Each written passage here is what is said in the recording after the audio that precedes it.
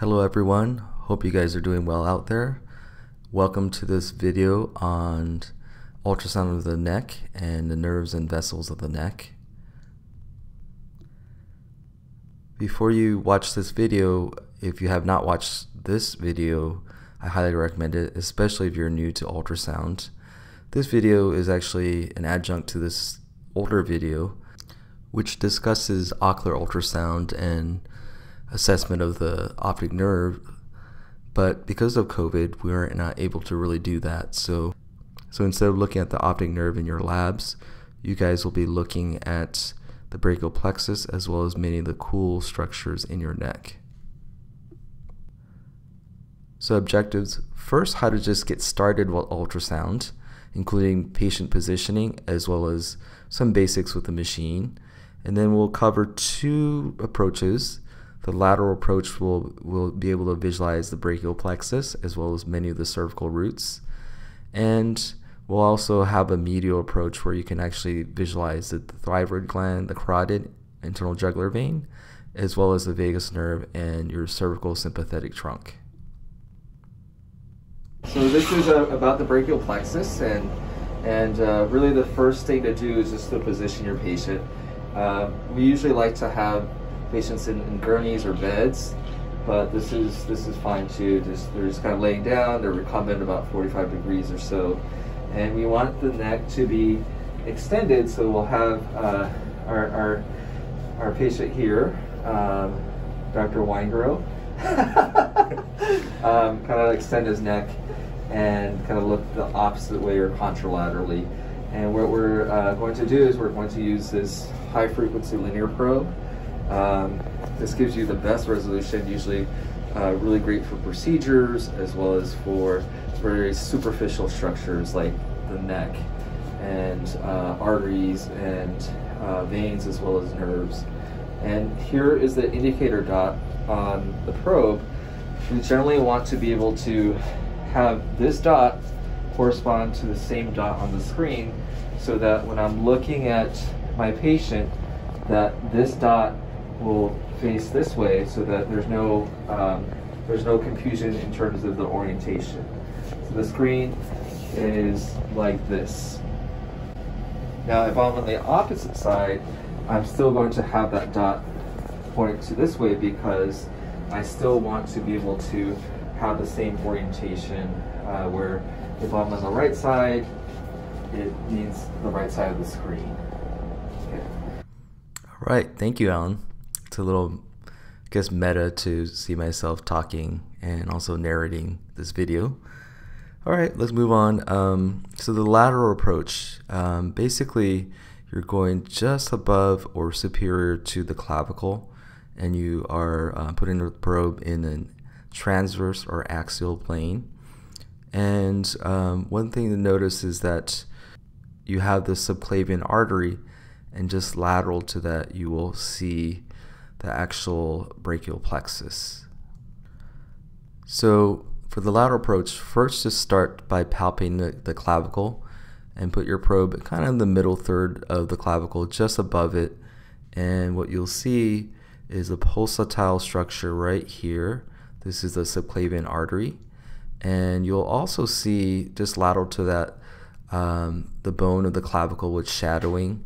And you also see um, this line right here that kind of seems to go back and forth, and that's the pleura of the right apex of the lung. And the brachial plexus is just lateral and a little bit more anterior to this subclavian artery. And it's seen as um, these hypoechoic bundles that are, are coalesced together. Now from this approach, what you'll need to do is just kind of slide the probe a little bit laterally and a little bit more superiorly.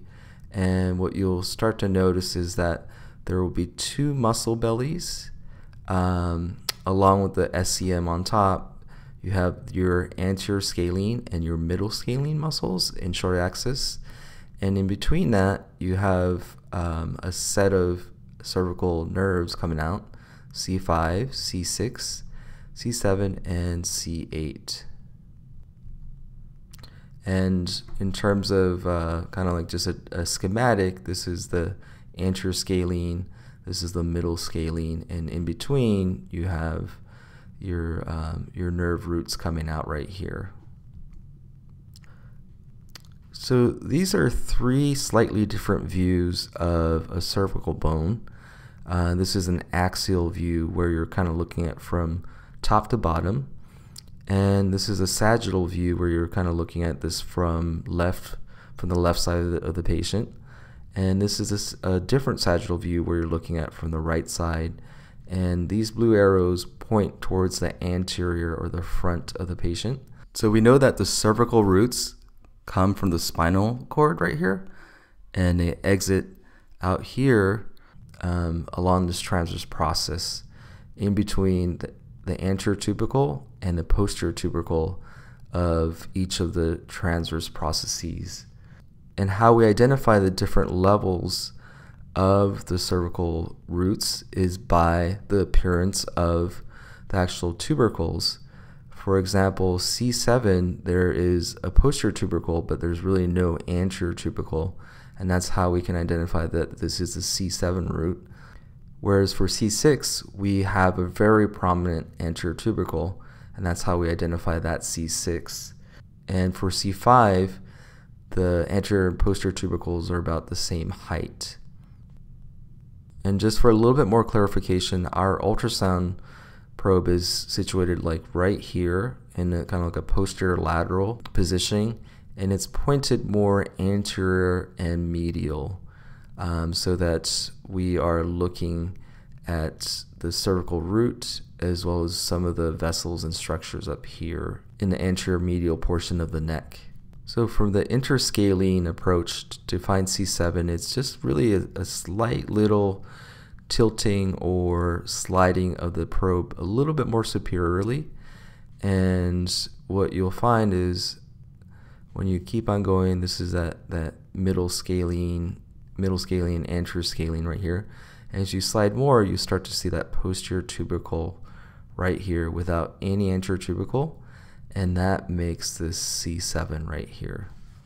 To find C6 from the level C7, all you need to do is to slide or tilt the probe a little bit more superiorly and you'll find a very prominent anterior tubercle right here as well as uh, the posterior tubercle and so this is how you know that this is a C6 root. And just a, a little bit of historical uh, fact, this anterior tubercle is easily palpated in most people and is actually the basis of the anatomical approach for uh, what's called a cervical sympathetic trunk nerve block. So this anterior tubercle that is palpable was first discovered by a French physician named Chassaignac, Dr. Chassaignac, I guess. And with this technique, you would actually palpate this anterior tubercle and using a needle actually um, insert it perpendicularly until you hit the tubercle here and um, then start to inject your local anesthetic. Now from C6, again, you just want to slide or tilt the probe a little bit more superiorly, and then you'll find, um, again, the anterior and posterior tubercles. Here, anterior, here's posterior, and here's that nerve root coming out. So we know that this is C5. Okay, now for the medial approach we'll have the patient looking up with the neck extended and what we'll do is we'll palpate the laryngeal prominence of the thyroid cartilage and as you slide more inferiorly you'll hit the cricoid cartilage and as you keep on going you'll actually feel like the tracheal rings of the trachea. Now going back up to the cricoid cartilage and the thyroid cartilage there will be a little bit of a depression and that will be the cricothyroid membrane. And this corresponds to the level of C6 and this is where you want to place your probe in a transverse or axial plane. And when you do that, and you, as you slide a little bit more laterally, you'll see a gaggle or a you know collection, just a bunch of different important structures, including the trachea from the right, the thyroid gland. This is the right thyroid lobe. Uh, you also see the um, the two bellies of the SCM muscle. Then you also see the carotid uh, specifically the common carotid artery, and then you'll see the internal jugular vein right here, which is slightly compressed because the patient is essentially sitting up. Now, in the same window, if you just look deep to the carotid, you actually have the longus colli in uh, a short axis, and just above that, you have the cervical sympathetic trunk, which is just deep to this prevertebral fascia right here. Now, if you look at the carotid, the common carotid right here, and you just look lateral and in between the internal jugular and the carotid, you actually have this collection of hypoechoic uh, bundles here. And this is actually the vagus nerve. So a lot of really cool structures in a small amount of space. You can use color Doppler whenever you are visualizing an anechoic or hypoechoic structure um, and that will just help you to tell if there is flow within that structure. Uh, this is flow within the common carotid artery and the internal jugular vein right here. Oh, there's an earthquake. Just remember that flow going towards the probe or the top of the screen will be red, and flow going away from the probe uh, or towards the bottom of the screen will be blue.